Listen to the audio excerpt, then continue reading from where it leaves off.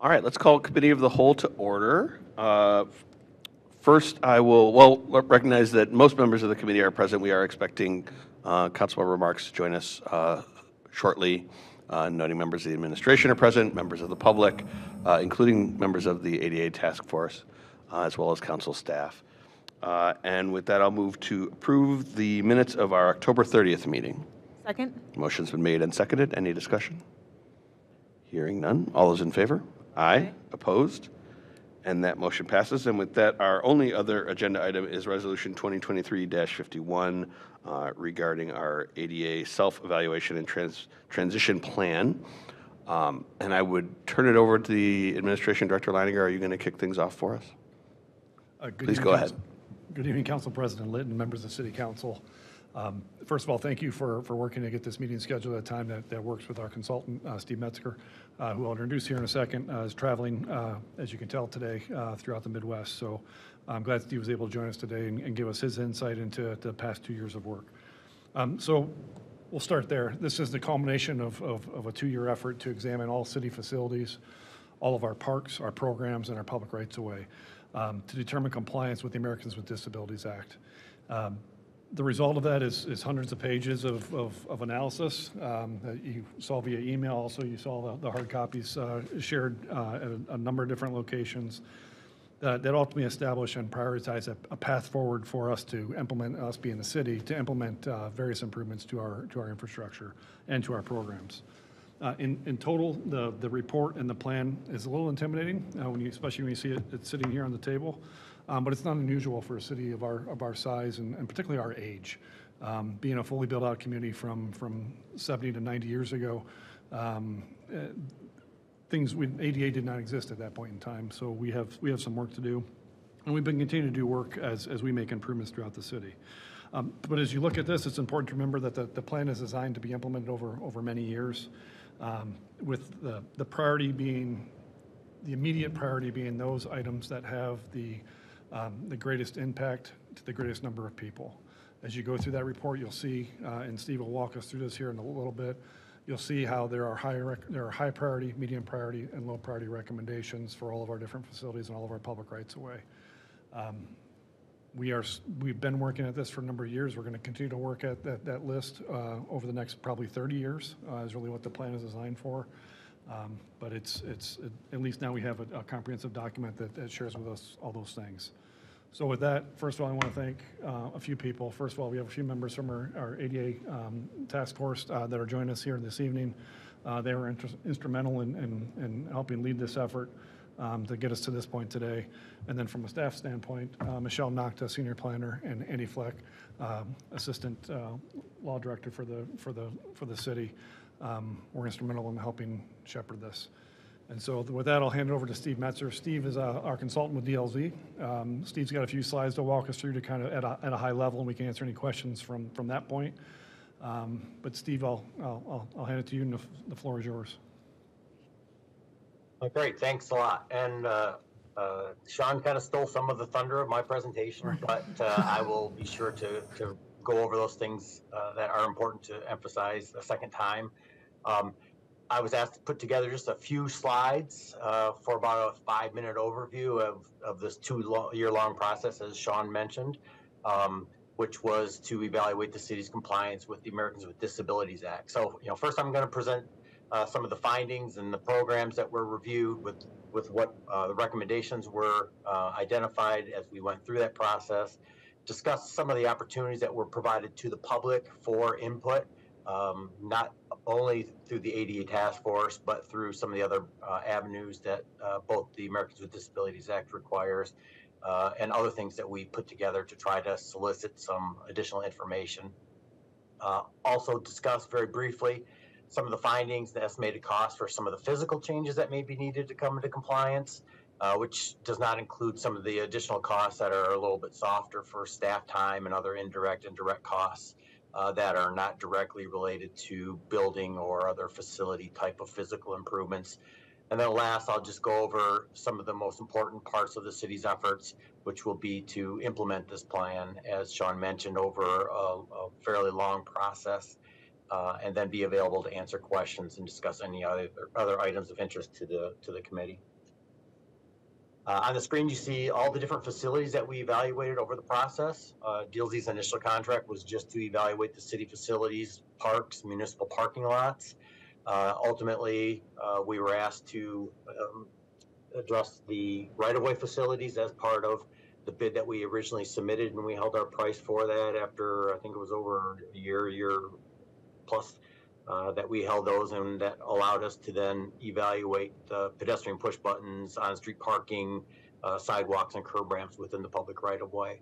Uh, we also evaluated a wide variety of city programs, uh, things from whether or not you've designated an ADA coordinator and have a formal grievance policy and procedure as required by the ADA, uh, as well as some uh, other types of policies and programs that are unique to each department and community that we uh, assist with this type of compliance work.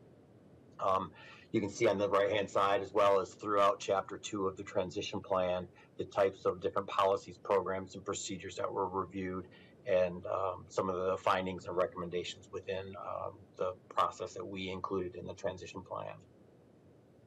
Um, throughout the project, um, the ADA does require public outreach during the self-evaluation phase early, um, which is typically done through um, public notices and other means. We utilized an online um, uh, questionnaire and survey that was done which was really not intended to be statistically significant, but meant more to try to solicit some of the higher level barriers that may be perceived out there to city programs and facilities.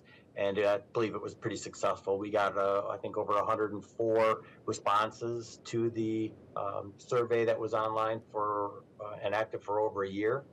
We also sent out um, through Michelle's uh, office letters to 51 different regional, state, and local disability advocacy groups during both the self-evaluation phase as well as when the transition plan was available for public review and comment uh, in September, alerting them of the fact that the city was doing this project, and then later that the transition plan was available for review and comment. Uh, as is typical, we did not get any uh, responses from any of those disability advocacy groups, but that doesn't mean that they're not interested, nor that they wouldn't be interested in assisting you with your implementation process in the future. Uh, we did make the draft transition plan available for public review and comment at numerous locations uh, throughout the city, including City Hall and Cove Community Center and the two libraries. And a PDF version was also available online for a two-week uh, time period. Um, we also had numerous meetings with the uh, ADA task force, and as I understand it, there are some members of the task force there. Um, very good discussion about some of the barriers that were perceived and some of the different things that uh, are ongoing in the city and will continue to be ongoing. Uh, scooters and outdoor dining and some of the things that present unique challenges to the disabled community in particular uh, were uh, very common topics of discussion, and I anticipate that that will continue. So, um, the um, public involvement is, is, expected to continue into the next phase as you go into implementation. Uh, and how you do that again, there is no real requirement uh, for how that is performed or done, just like there wasn't during our project.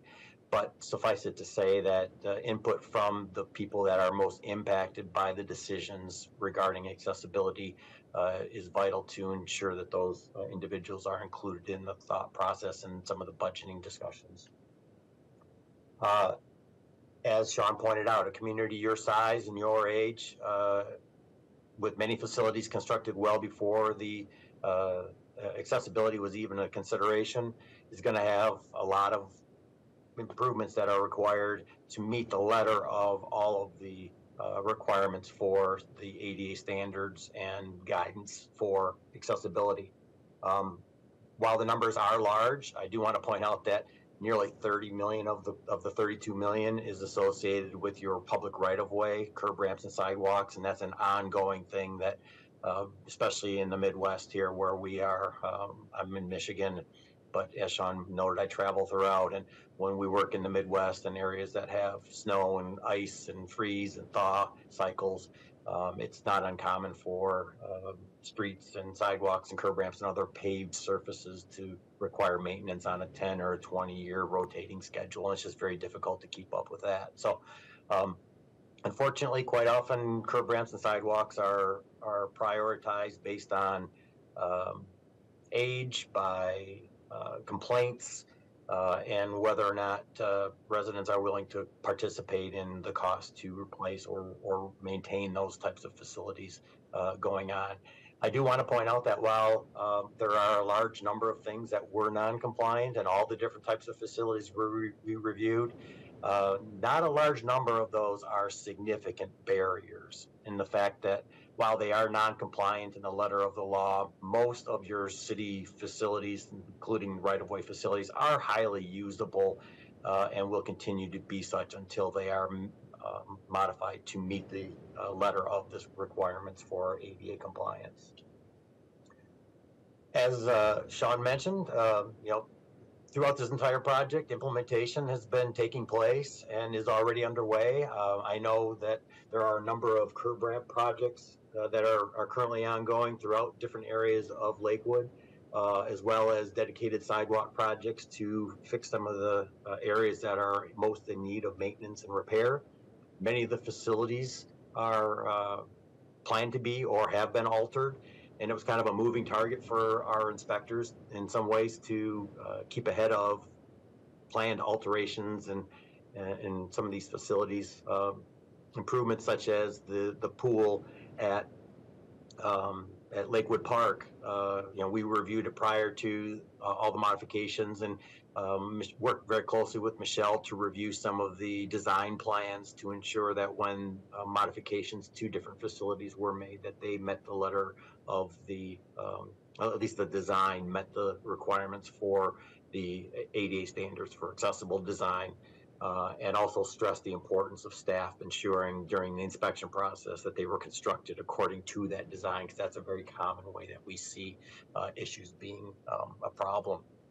So the city has been working on that.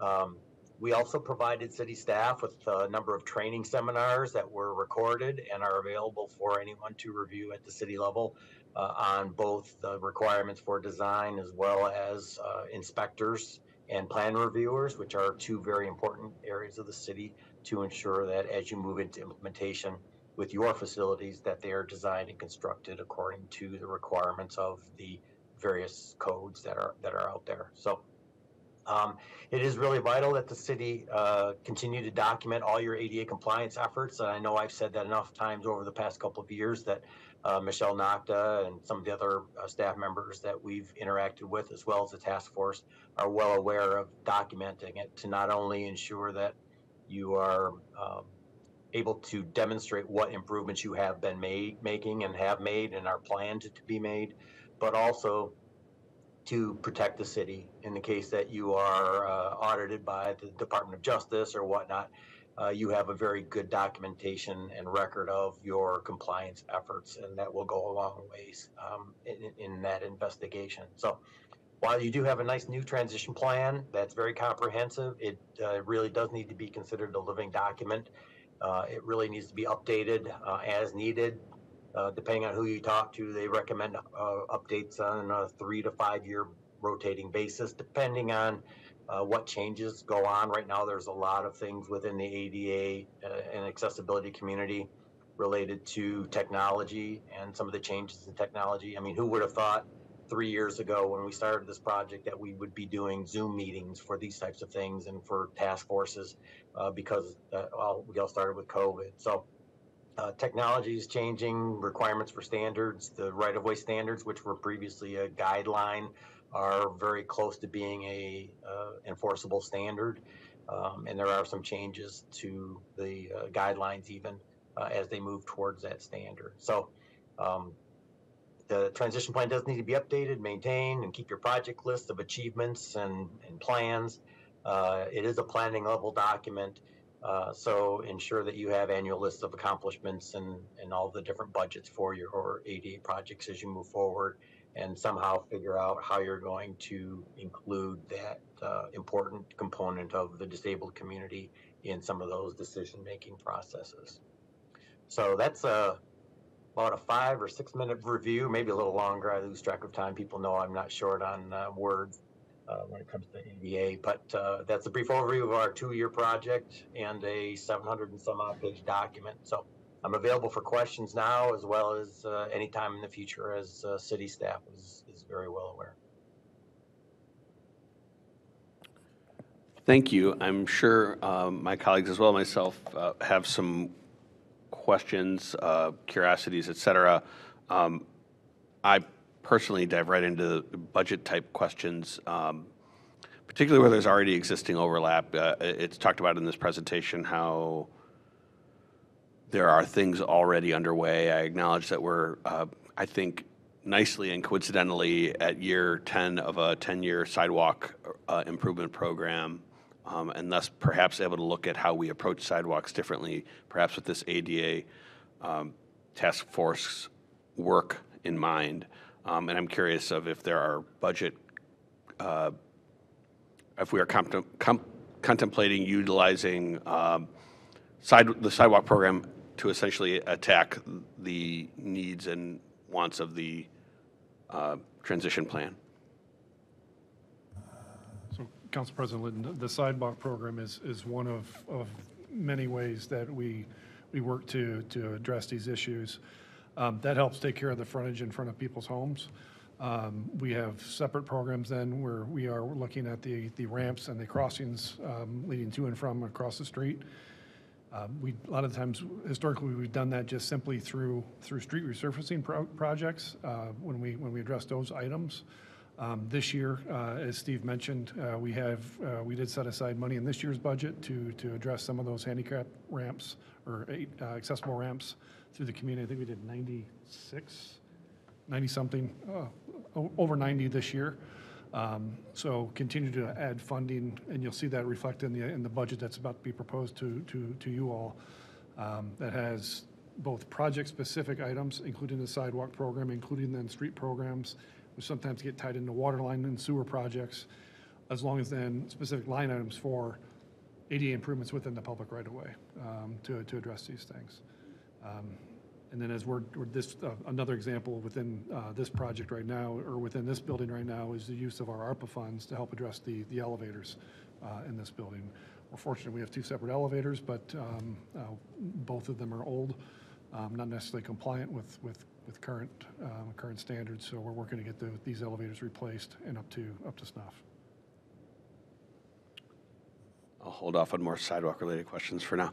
Uh, Colleagues, do you have any questions? Councilman Bullock? Thanks, Mr. Chair. Thanks, uh, Director Leininger and uh, our expert presenter, uh, Mr. Metzer via the cloud, and to the ADA Task Force members who are here. Um, So I welcome all of the recommendations and a lot of good hard work, I know, by my colleagues, especially Councilwoman Kepple. Um, So uh, a couple questions. One is, um, uh, forgive me if this has been stated before, but so I'm clear, this is not a nice-to-have, this is a must-have re- required by federal law, if I understand. So um, there's a significant price tag involved, so we're going to have to um, pay due attention in our budget for the next five years, and really, it's going to be for, for an ongoing forever, um, uh, to, to make sure we're in compliance. So could somebody speak to, maybe the law director, you know, what's, you know, how much leeway does the city have? It sounds like we're already behind um, uh, in terms of our compliance schedule. That's, that's part of the question. The other thing I- I'd love to know, what proportion of work is private versus public? It's, it, it's easier for the city decision makers to control city decisions, but a good amount of this is going to be, a, you know, private property owners, right? Uh, And then the final thing is cost effectiveness versus the cost. I know in our sewer plan, for example, we, we talk about how you spend a million dollars, and you're going to have to spend many millions of dollars uh, on both plans. But we want to have a weather eye towards which is the first million to spend to have the most net positive impact on the outcomes. So for example, that, I, I did appreciate the price tag. There's a slide, I, I don't know if we can rewind to it, with the, the breakout by categories, and the lion's share was for sidewalks, uh, which is something the city can directly have uh, some, some say over. Um, But is that going to have the most net value to ADA access and, and accessibility? Do we have any metric by which we can evaluate that? Maybe the answer is no, but I'd certainly love to, to be a student on that front. You know, what's most important? Is it, is it the curb ramp or is it something else? And I'll stop there. Thanks. So I'll start, Steve, and then I'll, I'll, I'll hand probably the compliance issue over to you, and then maybe you can walk through um, kind of the methodology in determining the highest, high, medium, and low priorities. Um, As, as far as your, your middle question, uh, Councilman Bullock, um, public versus private, all of this plan deals with the public realm, everything that the city is, is in control of. Yes, there's a, there's a whole nother world of, of private improvements, private businesses, private enterprise that, that has their own regulations that they have to, to, to comply with. And, and we do manage that as, as things come in for permit, depending on what the type of permit is, there's certain thresholds that get triggered that, that then may or may not require certain levels of ADA compliance. So I guess that's kind of the stick. Now, there's, there's, there's, there might be ways, and we've had conversations internally about how can we utilize some of our, our, storefront dollars, our CDBG, um, commercial revitalization program funding to help when someone's coming into us for storefront dollar or for, to make renovations to their building, how can we help invest in some of those improvements that they might not otherwise be able or want to, to invest in? Um, to give a little bit of a carrot in, in that regard. Um, as far then as it, as it relates to compliance, um, and, and when are we found to not be compliant um, versus um, following this plan and and being in compliance? I don't know, Steve, to put you on the spot a little bit with that question, then, um, as far as the methodology of the greatest, the greatest bang for our buck in setting up the high, uh, high, medium, and low um, priorities for, for implementation. Okay, so there's a, a, a couple of, of things there. Um, first, I'll, I'll, I'll address the second one first, Sean. Okay. Which is the prioritization. Um, in the prioritization of both the facilities and the areas within or at each of those facilities, um, that needs to be given the highest priority, we looked at a number of different factors, and it, it is very subjective. And uh, from uh, the consultant side, we don't always know all the things that go on in all the facilities. Um, Uh, Mr. or Metzer, would you, plans could I interject, be- sir? Could you put up the slide that shows the prioritization breakout in the different categories? The high, medium, low, that, that would be helpful. Sorry to interrupt your, your, your descri- des- description. That was- that's there. Hold on a second. I don't, oh, there was a slide. Yeah, there's a slide. Hold on a second. I gotta, s- I gotta share my screen again. I think I still can. Did you take that away? Oh, there it is. Sorry. Nope, should still have it. Yep, I do have it.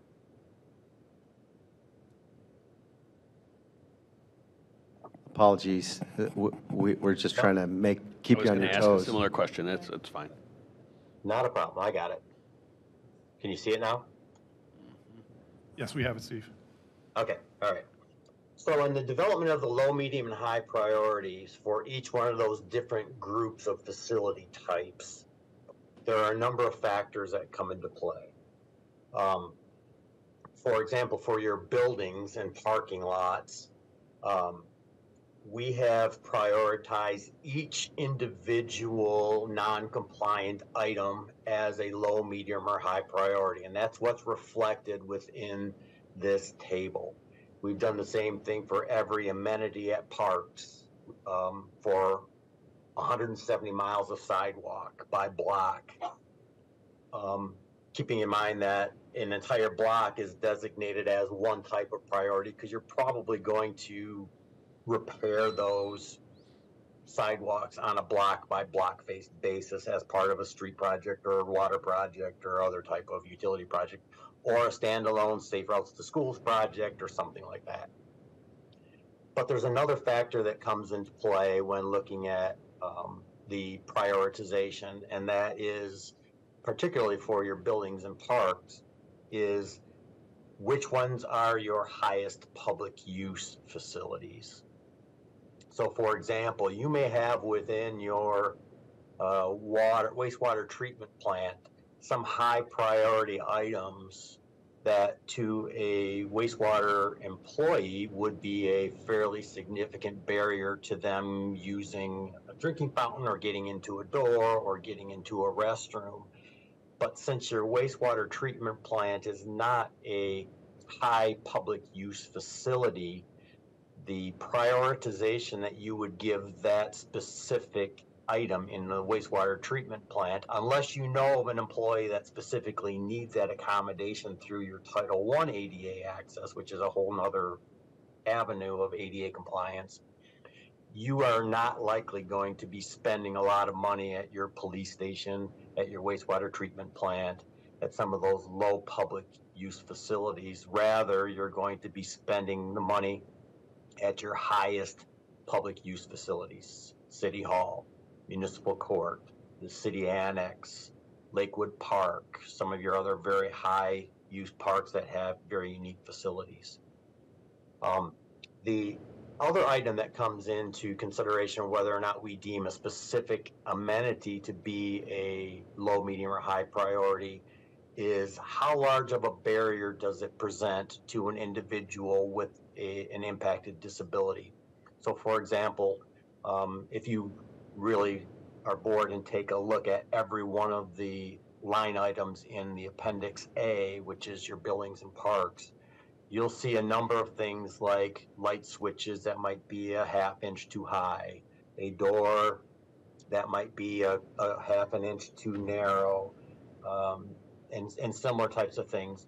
Those are typically going to be low priority because A, they have very little impact on most users, disabled or not, in their ability to utilize them. Um, secondly, they only deviate from the requirement by a very, very small amount.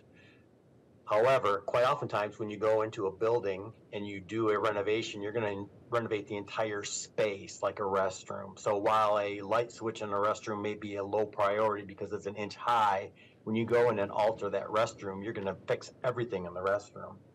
You're not going to just cherry pick all the high priority items. Some of the more significant barriers at your facilities and parks would be things like restroom doors that are 28 inches when they're required to be 32, and someone in a wheelchair cannot get in the restroom. Um, a restroom that does not have a stall that is sized adequately for a wheelchair user to get into the stall, maneuver to the toilet, use the grab bars to offload onto the toilet, use the facilities, and be able to get back out. Those are some of the higher priority specific items that we feel need to be addressed. And we've discussed many of those in great detail with both staff and um, at, at task force meetings. So I think the staff has a very good understanding and knowledge of how we prioritize not only the facilities, but every specific non-compliant item within or at those facilities. And it, and it's going to be a planning process. Um, you know, you've already done some improvements at, at Lakewood Park at the pool that I think made a great improvement. But there's definitely more. And I know we had discussions about the concession stand restroom, which is a very high centralized location at Lakewood Park that the doors are just too narrow for a wheelchair to get into and is essentially unusable. So those are the types of high priority items at a high priority location that we feel need to be the highest priority. And we didn't go through and again cherry pick and say all these things need to be in your first five years because there are so many more moving parts to a CIP. And this is essentially a CIP um, for accessibility, but it's not only for accessibility other types of building improvements or other types of park improvements can all utilize some funding sources that would be available and not specifically identified for accessibility to make accessibility improvements while you're doing other things. I mentioned safe routes to schools. Safe routes to schools typically are not specifically to address accessibility issues, but more connectivity. And as part of those connectivities between neighborhoods and schools, you can make curb ramp improvements, you can make sidewalk improvements through various funding sources that address not only safety for children that are walking to school, but also the compliance with ADA that may not be present on all of those routes. So hopefully that answers those questions. And did I, is there one other one that I didn't answer?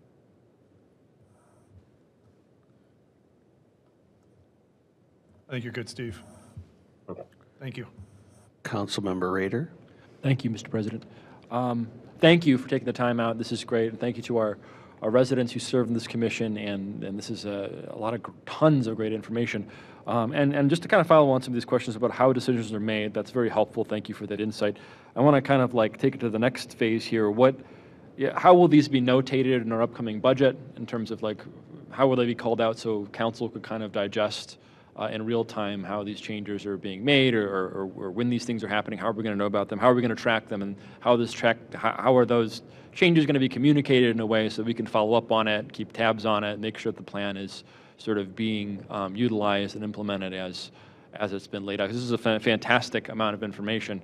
Um, and I have absolutely no doubt the administration's already working very hard to integrate it into our planning next year. But how are we going to see it manifest in our budget?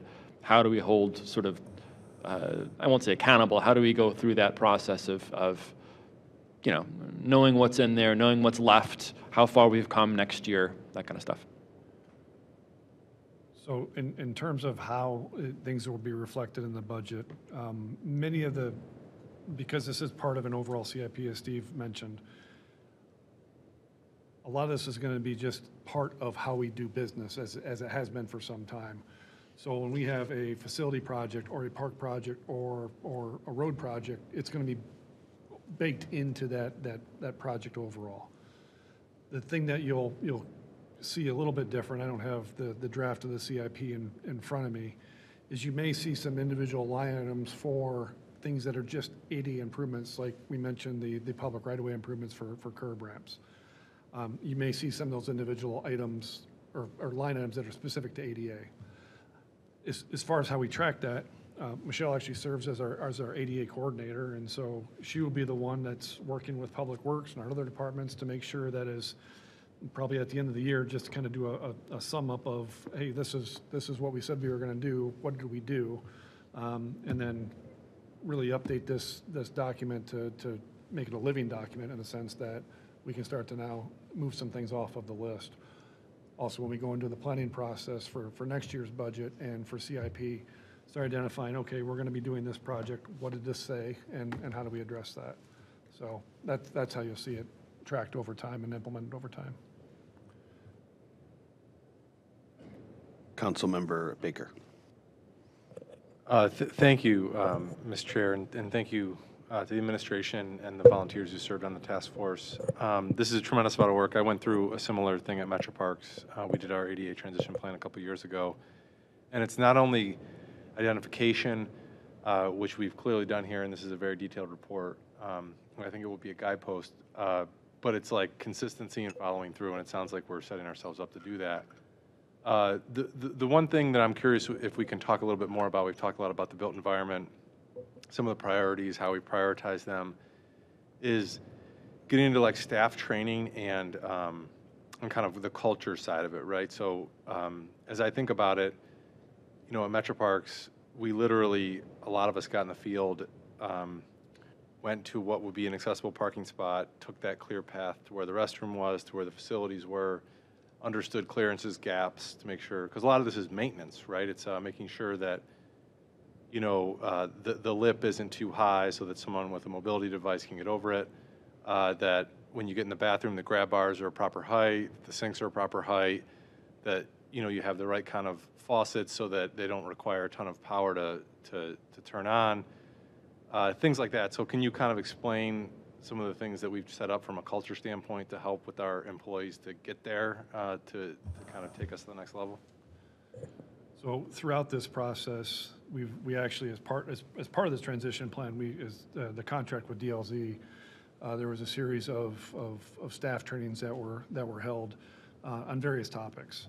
Um, We've also then incorporated, we use this, uh, is it NeoGov? Is that the name of the system? Uh, We use a NeoGov for, uh, system for, through HR for a lot of our, our training throughout the city. Um, We have incorporated now ADA accessibility and ADA uh, training um, within that, that training module that all existing employees have received and all new employees will receive as, as they are onboarded here uh, um, uh, with city employment.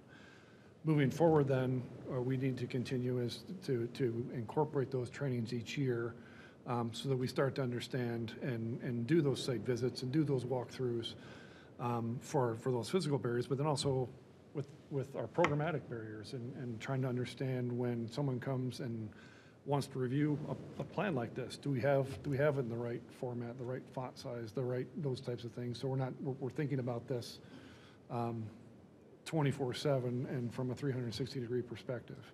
Um, We're, we're getting started. Uh, That's something we need to continue to develop, develop over time. Uh, th- Thank you, and, and what, you know, cu- customer service is the thing that comes to mind, and it sounds like that's the approach we're taking with it. And um, I think that goes a long way in meeting people, you know, to kind of understand their needs and, and ways in which we can address it. So thank you.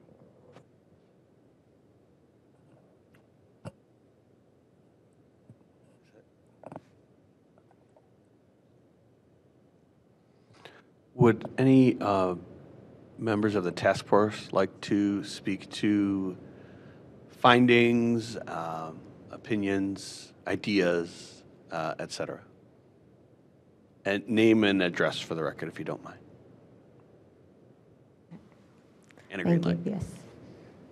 Tracy Greenberg, 1423 Lauderdale Avenue. I am the co-chair of the ADA Transition Plan Task Force, and I'm very happy about this moment. Uh, A couple things were mentioned that I just wanted to say. Um, We talked about grievances. And a grievance is what they call it when a person with a disability encounters a barrier, and they're brave enough to come forward about it. I don't know what percentage of people that encounter barriers come forward with a grievance. This transition plan eliminates the need for a squeaky wheel to make awareness of a barrier. And as disabled people, as a person with a disability, I find it my job to make awareness of barriers. And I hope that there comes a day where it's not my job. And it- a transition plan that we have here, there was a huge investment. It took 30, it will take 30 years to fully implement it. We won't, none of us will be sitting in this room. This room might not even be here. So another mention was of accountability. What we really need is we need an ongoing accessibility commission to run in tandem with this transition plan to work with our ADA coordinator and our planning departments to make sure that the accountability is definitely in place. And thank you, everybody, for, first of all, the hard work on this. Thank you to Steve. Thank you to our Planning and Development Department, the mayor, um, everybody, the law director, and our, our task force that did this hard work over two years. So thank you very much. We're looking forward to the day that you adopt it at the next council meeting, hopefully, and we appreciate you. Thank you.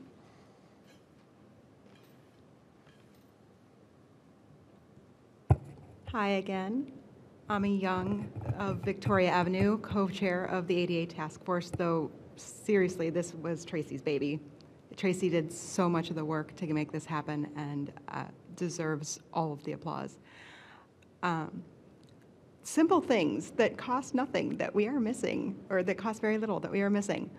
One thing, I just saw some on the screen that somebody enabled transcripts, but the closed captions aren't showing. I've been sitting over here going, "Hmm, I guess I'll watch the Zoom later, I'll watch the recording later and with the captions on to catch what was said there because I missed it. Uh, my physical disability is obvious, but I'm also hard of hearing. And yeah, sign language is lovely. I am fluent in sign, but only a tiny more, uh, percentage of people with hearing difficulties are fluent in sign. Captions help more than just audio issues. It also helps people who have attention issues, or if you get distracted for a minute and miss something, or some noise happens. It helps everybody. So I would love to see our meetings, our public meetings, constantly just turn on the Zoom ca- captions. If you got Zoom running, and you're projecting it, click on the captions. Problem solved. Didn't cost anything. Don't have to have anybody doing anything. Um, there's also the irony of I was running a little late to get here, and I had to park in a standard parking spot because we have insufficient ADA parking at City Hall. And that's a bit of a problem that I think we could possibly solve with some signs and some paint for very low price. This is a problem around the town. Um, It is very hard. Uh, You're asking what priorities. Uh, I saw that a high priority is, a- at a low cost is parking, and that was included in the parking. There are so many places in this city where just moving, making a- another ADA compliant spot by just putting one on the other side of the hash marks that already are there, or moving an ADA spot to a better location so that people with mobility challenges can get onto the sidewalk. I was at Lakewood Mi- Main Library today where they, uh, after my pushing for a while, they added three signs that say reserved for limited mobility. If it hadn't been for those parking spaces, I wouldn't have been able to get my sons to go tutor their schoolmates today. I wouldn't have been able to get out of my vehicle to go make sure that that, ha- that connection happened. These are the life situations where it's invisible. If it doesn't, it, if it doesn't matter, if it doesn't affect you personally, it's really easy to let it fall into your oblivious spot. You need, just like we as citizens need to be able to delegate attention to so many of these min- minutia to you as our elected officials, we need you to delegate the attention to some of the to these disability issues to people that are impacted by it. Find people like you did with this task force that you can trust to go check the issue and report back to you with a vetted, validated perspective that you know that they're not just being cranks. Because, you know, yeah, I can be cranky sometimes. So that it's not all on the bravery of our disabled citizens who are afraid of what'll happen if, you, if they catch you in a not so charitable mood. We need to be able to trust that our voices will be heard and finding how to report the issues, putting more public visibility, public, public perceivability in how to report the issues in more places would also go a long way to making sure that there is citizenry involvement in making progress and we aren't expecting it to go from where we are now to perfect in a year. Just showing that we're making constant progress and that we're all a part of this process. That's what we need to be doing, and that's what I am so joy-filled that I know I can trust this this entire city government to do. This has been a real joy in my life to be a part of this process, and I look forward to boosting more people into engaging as experts in disability from lived experience. Thank you. Any uh, further comment from my colleagues or questions? Oh, good. Please come forward. Um, Hi, my name is Chris Cowan. I live at 13231 Merle Avenue, and I was also a part of the task force. Um, By profession, I'm an occupational therapist, so my job is um, to ensure that um, everyone I work with gets to be as independent and to do the things that mean the most to them and whatever their personal goals are. And I, I'm really happy that I got to be a part of this, um, this task force, and uh, I got, and I really love the city that I live in. And I'd like to be able to see that everyone can participate in the things that they love and that they want to enjoy in Lakewood, Ohio. You know, the parks, you know, coming to City Hall to vote, to do whatever it is they need to do.